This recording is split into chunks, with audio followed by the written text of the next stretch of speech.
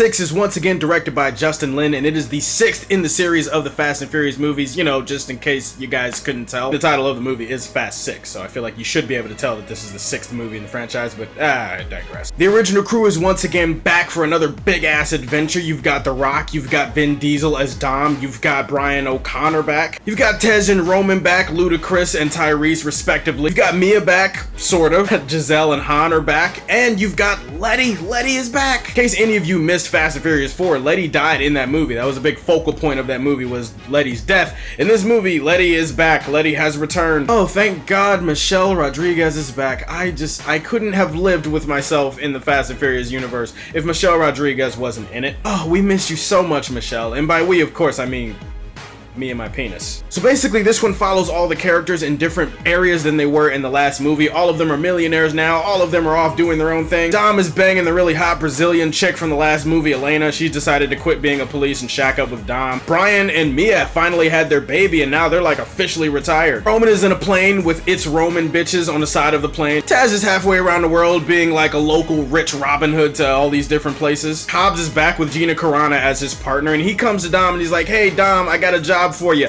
Yeah, you remember your sexy ass ex-girlfriend? Yeah, she's alive. Yeah, and she's working with this really dangerous crew led by this guy, played by Luke Evans, who's called Owen Shaw. Owen Shaw is this former military dude who's got like this high-tech crew of fast drivers. Think of it like Dom's crew, except like they're evil twins, kind of like Roman says later on in the movie. And so Hobbs comes to Dom and he's like, yeah, I need your help. I need your team so that we could track these guys and stop them from acquiring some big piece of tech or whatever that's supposed to I don't know, blind electricity or shut off the lights in a country or something. Thus, we have our movie. Dom has to recruit his team and they have to jump back into action to save Michelle Rodriguez. It's kind of hard for me to even review this movie. I feel like I should just talk about my favorite parts of the movie because this, as it stands here today, is my favorite Fast and Furious movie of the entire franchise. franchise is versatile, man. For a lot of people, it's one. For a lot of people, it's five. For a lot of people, it's seven. But for me personally, number six takes the cake. It's my favorite Fast and Furious movie. This one has the best action action scenes, it has the best character moments, it has the perfect blend of humor and action,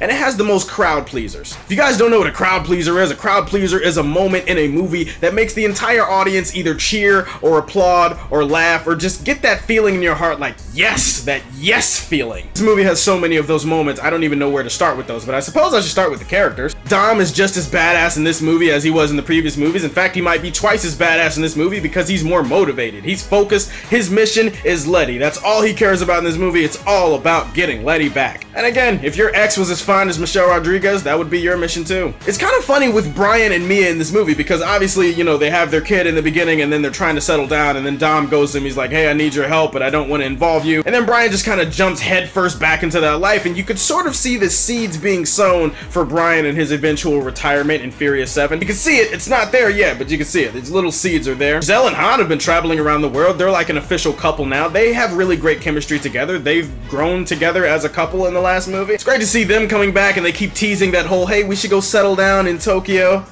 Wink.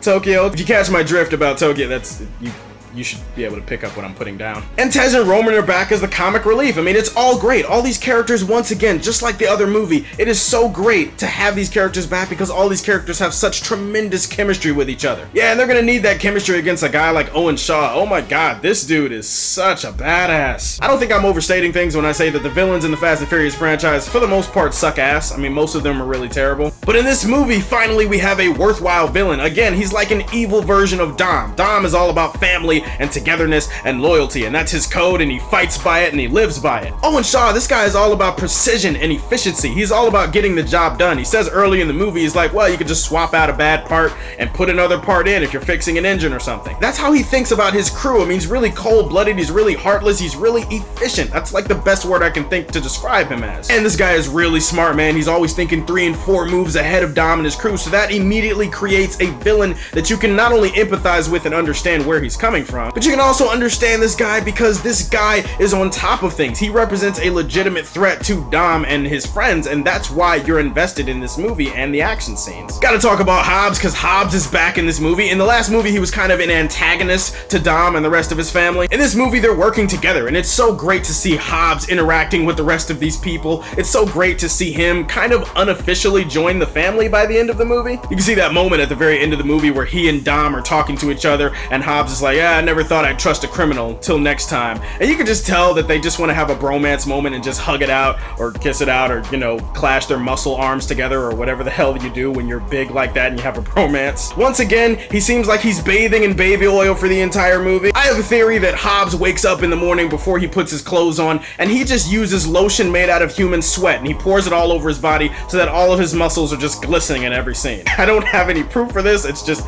just my personal theory about The Rock and his sweaty ass muscles. Luckily in this movie they do address that. Roman has a couple of jokes where he jokes about The Rock. He's like, oh, why do I smell baby oil in one scene? At the end of the movie he's like, oh, somebody better hide your baby oil. And then The Rock is like, yeah, you better hide that big ass forehead. You could just tell the way that Ludacris laughed at that part. You could just tell that that part was ad-libbed and that part was actually not planned. And that was just improv by the actors on set. Again, you can pull that off if you've got great chemistry. And once again, I love these characters and I love the way they interact with each other. So many great moments. I mean, obviously you gotta go to the girl fight between Letty and Gina Carano in the subway. I mean, that is just uh, two hot ass women beating the shit out of each other in a subway tunnel. I mean, that's the American dream right there, people. That's what everyone should want in life. Got the other great fight that happens during that same time period where Roman and Han are trying to fight this Asian dude in the middle of like the subway station or whatever, and he kicks both of their asses. And if somebody kicks me and my friend's ass like that, I'm probably never going to get into a fist fight ever again. Psychologically, Roman and Han should be down for the count for like the rest of the foreseeable future. You've obviously got the tremendously awesome highway scene where you've got Owen Shaw and his crew hijacking a freaking tank. And I just love Tej's reaction. Tez has the perfect reaction to them having a tank.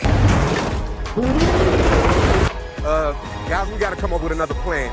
They got a tank. That action sequence culminates with Letty somehow flipping off of the tank and Dom somehow jumping across a highway to catch her and landing on a car on the other side, and they're both pretty much, you know, alive. Again, that unrealistic quality to the action sequences is still here, and again, you're still gonna be going like, yeah, it's, it's no way people would survive that, but I don't give a damn because it looks really, really cool. Sure, if any of the stunts in this movie were actually real, that people would be dead like within a scene or so, and the movie would only be 10 minutes long. The action is absurd, it's ridiculous, but it's so well filmed, it's so well shot. From the fight scenes to the car chases to the explosions to the stunts, everything is just not only bigger than life, not only ups the scales, it also just ups the stakes of everything. Like the last action sequence in the movie, which involves the world's longest runway. Seriously, this runway goes on for like 30, it's legitimately like a 20 minute action sequence at the end of the movie. It's this huge action set piece, and there's a plane that they're trying to bring down this plane before it takes off. Owen Shaw and his crew are trying to escape, and there's like fights on the plane, and then there are cars outside the plane trying to bring the plane down. Yeah, it's completely unrealistic and doesn't make sense, and it's it's complete bullshit. But again, you're having so much fun at that point.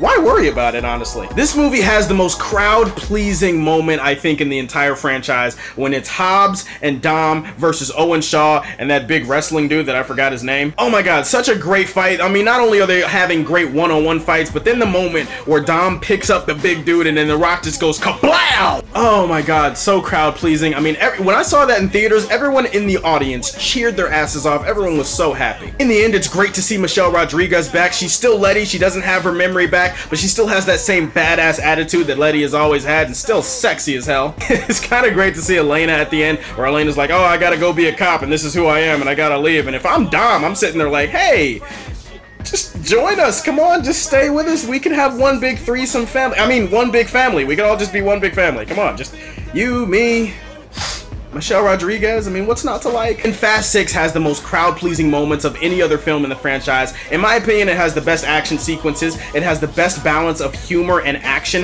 it has the best character interaction in terms of chemistry goes. I'm gonna get my highest rating because it is my favorite Fast and Furious movie. So, Fast 6, give it to Superman Prime. Alright guys, that is my review for Fast and Furious 6. Alright, pick a stunt in this movie, any of the action stunts in this movie. Which one do you think that you would be the best suited to survive? Let me know down below. Please like and subscribe to the Superfan Show. And as always, if you like what you see, tell me how you feel and stay tuned to hear more from the Man of Steel. Peace!